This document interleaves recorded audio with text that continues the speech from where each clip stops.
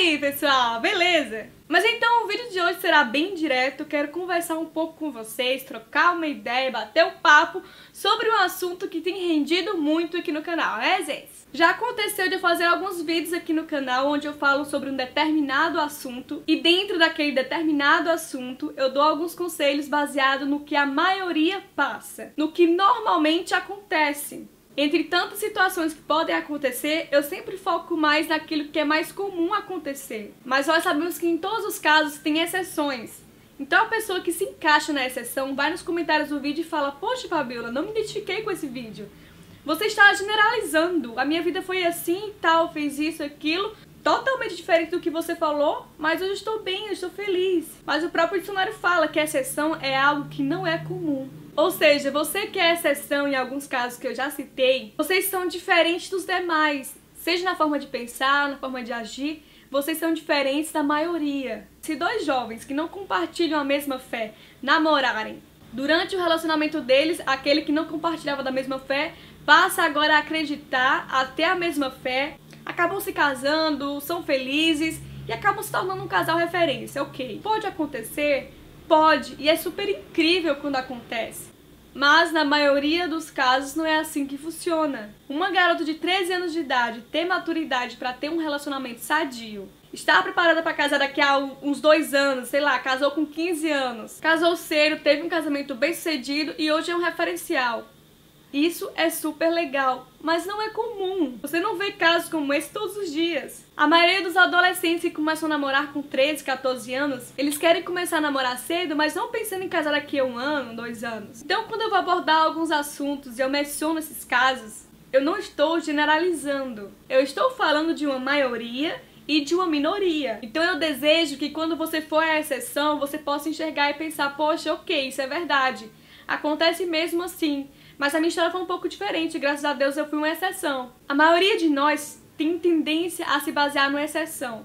Se eu quero muito fazer algo, não importa se deu errado para um monte de gente. Se deu certo para alguém, eu vou me espelhar naquela pessoa. Na minha igreja tinha um, um caso de um rapaz que já era da igreja, conheceu uma moça que não era da igreja, ela se interessou por ele, foi para a igreja, aceitou a Jesus. Eles começaram a conversar, a orar, casaram, hoje são uma referência, são uma benção, que coisa legal eu não estava nem um pouco preocupada com os outros casos de que não tinham dado certo. Eu olhei para eles e pensei, é isso que eu quero pra minha vida. Então não só aqui no canal, mas na vida, na sua escola, na sua igreja, quando você for falar para as pessoas que você é uma exceção, que a sua história é diferente do que normalmente acontece por aí, sempre lembre de falar para elas o que você passou, o que você fez, o que você fez de diferente, como você buscou a Deus, como você se posicionou, por que a sua história foi diferente do que a maioria vive. Eu glorifico pela vida de cada pessoa que foi uma exceção e que ainda é uma exceção no meio de uma história, de uma situação onde tinha muitas coisas conspirando para dar errado. E mesmo assim essa pessoa foi uma exceção, ela foi diferente, ela,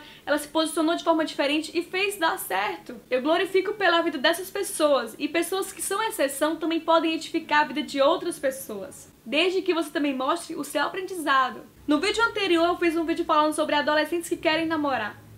Eu poderia ter citado no vídeo que a minha mãe casou com 16 anos e hoje ela é uma ótima esposa, uma ótima mãe, está feliz. Mas por que eu não citei isso? Porque eu sei que tem várias pessoas que casaram na época da minha mãe, que casavam mais jovens e hoje estão separados e hoje não são felizes. A minha mãe que casou com 16 anos e que com 21 já tinha quatro filhos, nunca chegou para mim e falou: "Filha, se você quiser casar cedo, casa, se você quiser ter 30 filhos, pelo contrário, a minha mãe era uma exceção, mas ela passou para mim o aprendizado dela. Ela me passou as vantagens e desvantagens de casar cedo.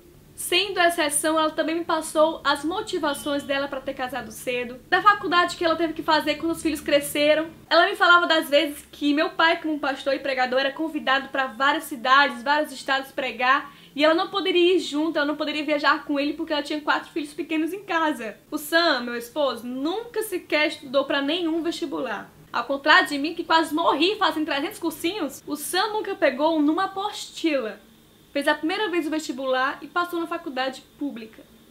É claro que ele é uma das exceções. Então, quando você estiver num ambiente, numa situação, com alguém, com um grupo de pessoas, em um evento, em um trabalho da igreja, em um congresso, e quando falarem de alguma coisa, se referirem à maioria, e você avaliar a situação e se identificar como uma exceção, Fique feliz por você ser uma exceção e não se ofenda. Exceções podem ser perigosas quando as pessoas olham para aquelas exceções e pensam: ah, comigo vai ser do mesmo jeito, sem saber o que aquela pessoa passou ou fez para ser uma exceção. Mas muito cuidado antes de se espelhar em uma exceção. Não seja como algumas pessoas que fazem é se sabotar. Elas pegam alguém como exceção e falam sempre o caso daquela pessoa, mas no fundo ela sabe que não está fazendo o que aquela pessoa fez. Ela só quer usar aquela exceção como exemplo para conseguir um aval dos pais, dos pastores, dos amigos. Não seja burro, porque a única pessoa prejudicada nessa história é você mesmo. Então é isso, meus amores. Eu espero muito que vocês tenham gostado desse vídeo. Se você gostou, dê o seu joinha aqui. Se você é novo no canal, não sai daqui sem se inscrever. É só clicar no botãozinho vermelho aqui embaixo com a palavra inscrever-se. Clica nele e você terá notificações sempre que o vídeo novo for lançado, fora que você fará parte da nossa família também. Para o contato mais próximo, me siga nas redes sociais, no Instagram, arroba Oficial, e na fanpage Facebook, Fabiola Mello Oficial também.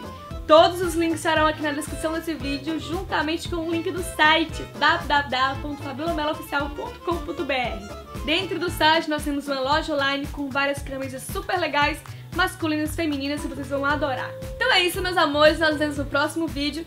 Um grande beijo, fica com Deus, graças paz. Uh! Tchau!